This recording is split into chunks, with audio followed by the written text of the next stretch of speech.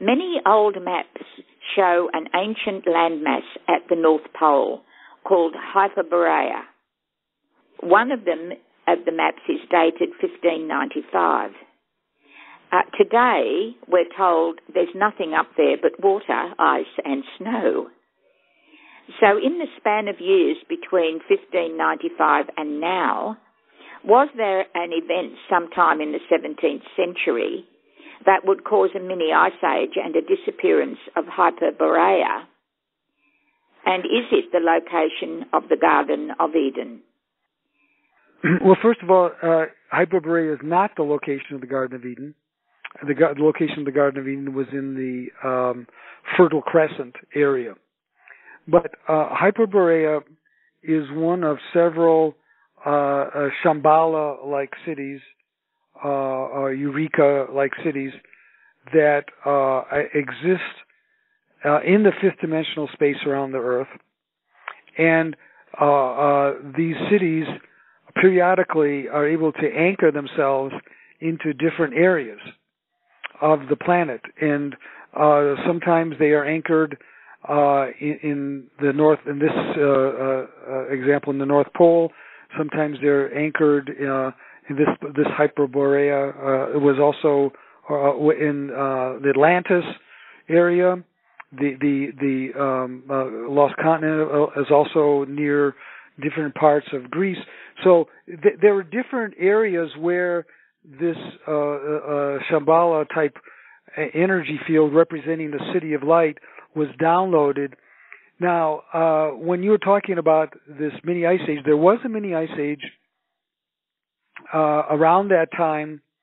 No, uh, in, in part, it was related to a volcanic eruption in Indonesia, which uh, uh, created so much ash that parts of the planet uh, sunlight was blocked off, and it did produce some strange things.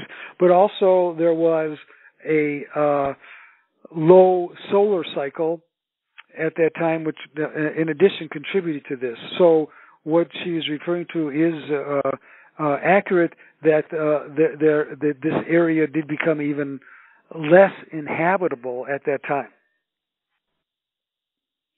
Did the people living there venture out into the world with intention to enlighten the humanity?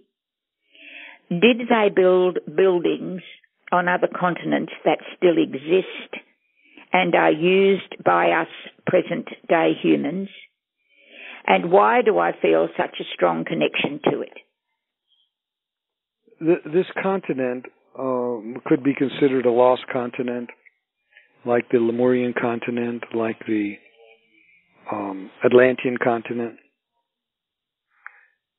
The thing that I can offer is that this lost continent and the people in that are not involved in this earth drama at this time.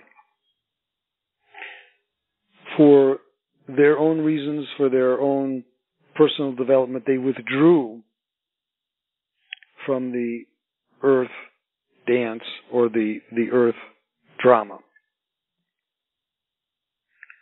There are not significant architectural structures left. They did not want to have any trace of themselves, and they are content to be withdrawn and in their places away from humanity. They are safe and protected in their inner realms there. I think that in other lifetimes you probably visited them. It is similar to the energy of Shangri-La. Remember in the, the book The Lost Horizon, uh, the visitors from the external world visited Shangri-La and became attracted and wanted to give up their third dimensional world to live in this utopia. And that is the way for your experiences. It was definitely a utopian or Shangri-La experience and would be an experience to live with them. But as it was portrayed in The Lost Horizon, the book The Lost Horizon, you could not live in both worlds. You could not live in the third dimensional world and go in Shangri-La and then leave or come back. It's just too much. And in fact, in the world of Shangri-La, you don't want to leave. Your needs are met. There's no disease. Uh, there's no uh, greed. There's no need for money. I mean, I can go on and on on the different things and, and how that would explain what you experience in that continent in that lifetime. And so, yes, I'm sure there is a deep rooted desire to return to what is very similar to the experience of Shangri La.